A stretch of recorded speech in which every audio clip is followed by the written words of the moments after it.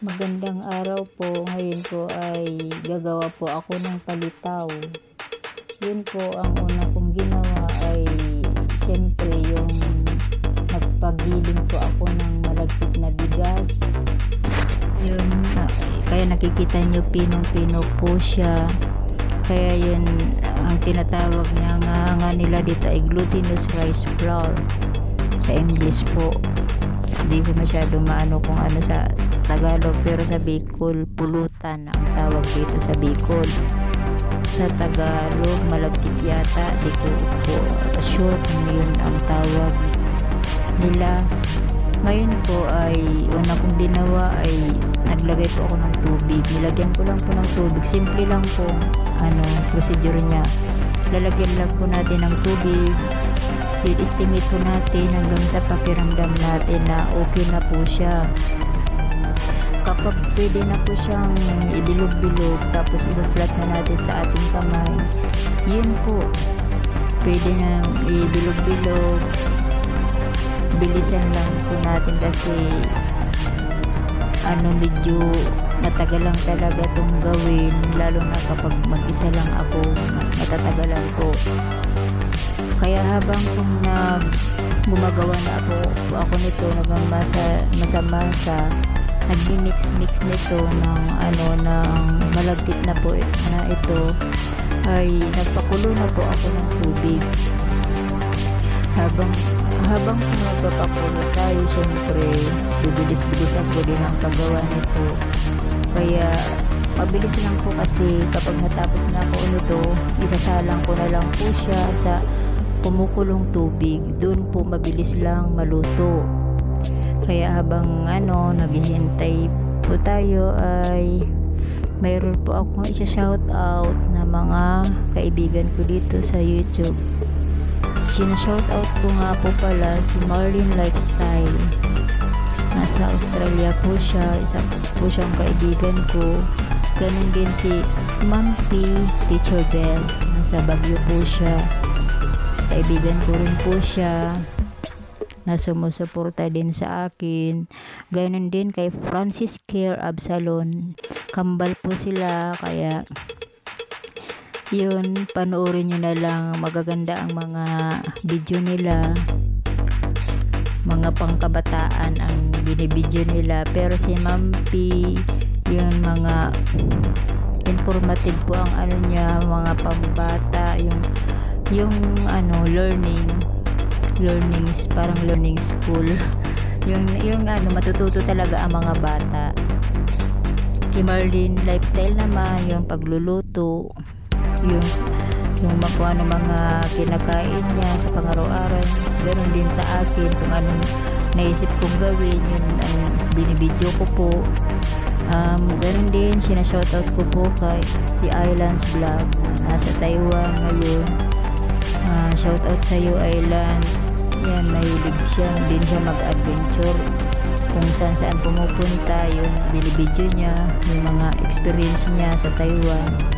Uh, ganun din si Joby Challenge sis Joby shout out sa iyo nasa Korea siya. Korea yata yun dito sure.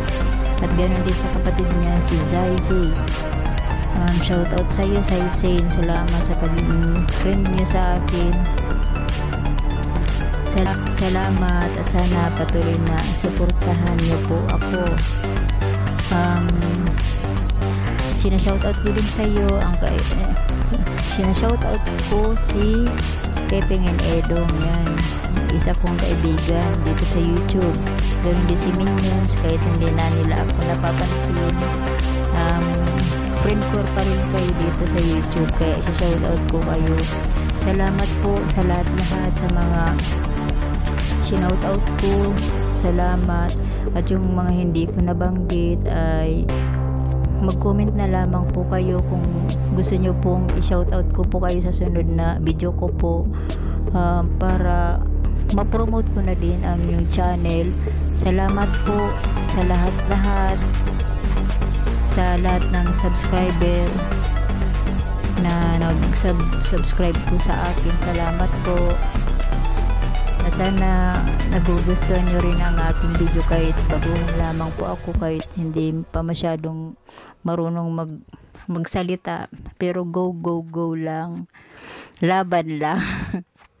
Yun lang. Yun nga hindi pa rin tapos ang aking pagmamasa. Marami marami na lang akong na shout out na mga kaibigan ko. At kayo mga nabanggit ko kapag nag video rin kayo ay pa shout out din po sa akin. Syempre gusto ko rin marinig ang pangalan ko sa sa inyong pag pagbablog. Yun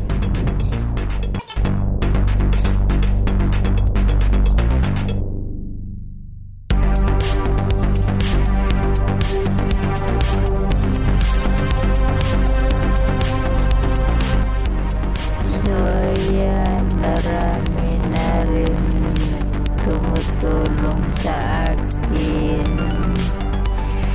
Ah, dahil nga po ay kumukulo na po ang tubig ay need ko na ng mga katulong katulong dito akala ko ganano palitaw lang wala. Pero kahit palitaw yan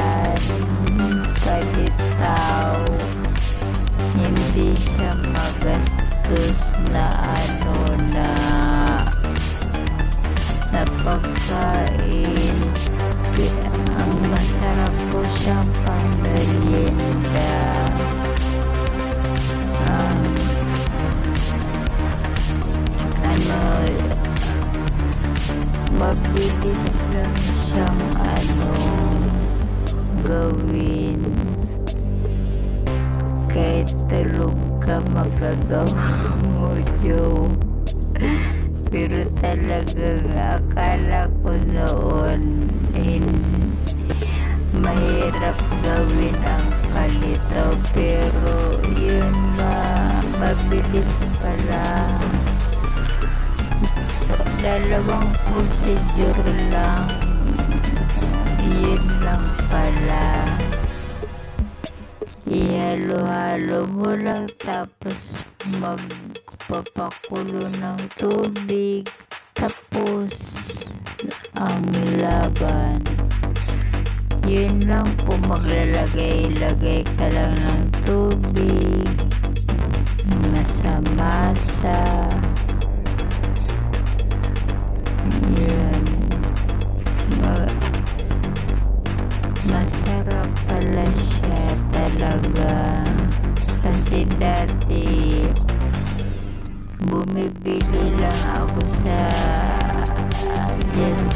sa kalsada yung sinong ano naglalako?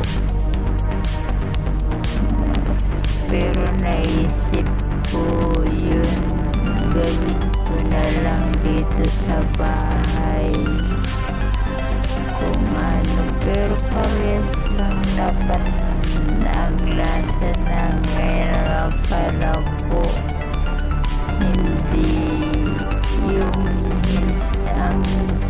paggawa ko hindi masarap. Pero ganun din masarap pwede naman sa ibabaw sa toppings niya mani. Yan pwede naman pero hindi ko tinry yung mani. Meron sana dito pero hindi ko tin- tinry. Kaya yun hintay-hintay lamang natin malapit na pong matapos. Makikita nyo po ang resulta hanggang matapos ito sobrang sarap po at mabilis nang gawin kapag natapos na ng pagmasa po mabilis nang gawin kasi ang pagtulo dire-diretso na po siya. Yun po. Salamat po at sana po nagustuhan nyo po ang aking video. Kahit simple lang po itong pagkain pero masarap po siya. Pwede siyang pang merienda po or pang almusal pwede rin. Yun po. Salamat po. Sana salamat po sa panonood nyo at sana po nagustuhan nyo um, like and subscribe na lang po and share pa-share na lang po sa aking video. Salamat po. God bless you all.